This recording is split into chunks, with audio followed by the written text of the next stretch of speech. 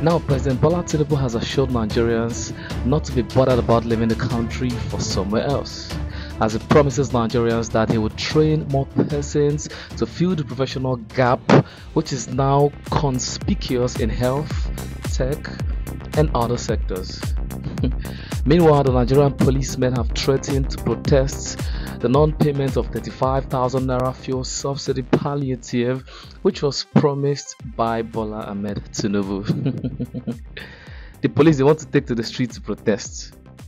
I don't know say police if they did protest honestly. Yeah, this is actually the first time that I'm hearing about this. But how would the federal government take them serious when they keep doing dirty jobs for them? Yeah, the worst part be say if civilians if they come out now to do the same thing the same protest in favor of the nigerian police now the same government now them go still give them order to shoot. Yeah. And these guys they will shoot.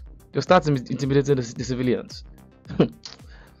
Man moving on moving away from this terrible news governor Wike has said that nobody can bring him down because god raised him and that if anybody tries that they will fail. He said that they should go and check that you should go and check the history of those who plotted him and what happened to them. They all failed. So he said. But why be say any small thing then go just involve God for the matter? Especially when it comes to politics. Even when they are doing evil. Yeah. So people they are doing evil, oh, they will be involving God, politicians.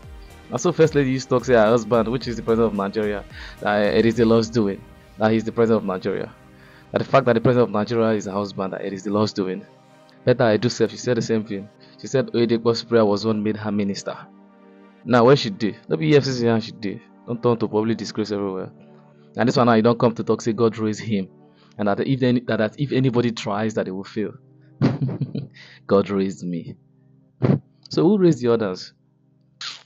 Too much talk, talk, talk, talk. Focus on your Abuja work. All this PH, PH, PH talk. It's almost on tire you by now now. Eh? You have a primary assignment which is Abuja. So what's your eyes define for River State? Obviously, you still want to control the money, the Rivers Treasury. Yeah. Oh, I beg. Thank you for watching. Thank you for subscribing. If you have not subscribed, please click on that subscribe button right now and turn on the bell for notification. I will be back again for another video. But until then, guys, au revoir. Bye bye. For now.